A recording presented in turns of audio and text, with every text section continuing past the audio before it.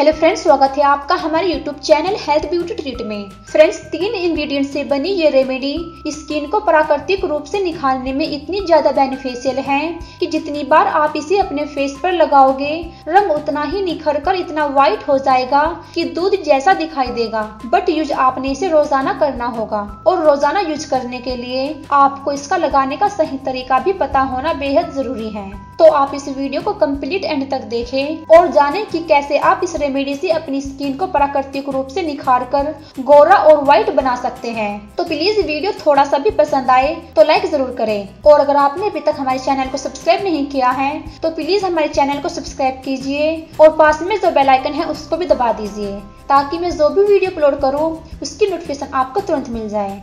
तो फ्रेंड्स, प्राकृतिक निखार पाने के लिए आपने सबसे पहले एक खाली बाउल में एक से दो चम्मच दही लेना है और दही आपने घर का जमा हुआ ओरिजिनल लेना है।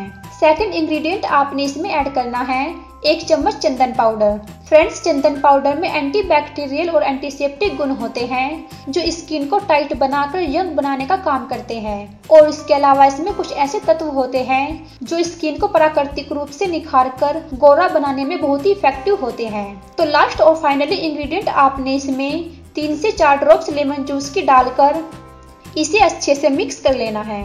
फ्रेंड्स, जहाँ चंदन पाउडर स्किन को प्राकृतिक रूप से निखार कर गोरा बनाने का काम करता है, वहीं दही स्किन को मॉइस्चराइज करके सॉफ्ट बनाता है और लेमन स्किन पर सालों से जमी टैनिंग और दाग धब्बों को हटाकर स्किन को क्लीन और फेयर बनाता है। तो मिक्स करने के बाद फ्रेंड्स, आपने इसे अपने फेस पर रोज़ाना वन टाइम इस तरह से लगाकर पाँच मिनट मसाज करनी है। फ्रेंड्स, बहुत ही इफ़ेक्टिव रेमेडी है, जो स्किन को निखारने के साथ साथ दाग धब्बों को हटाएगी।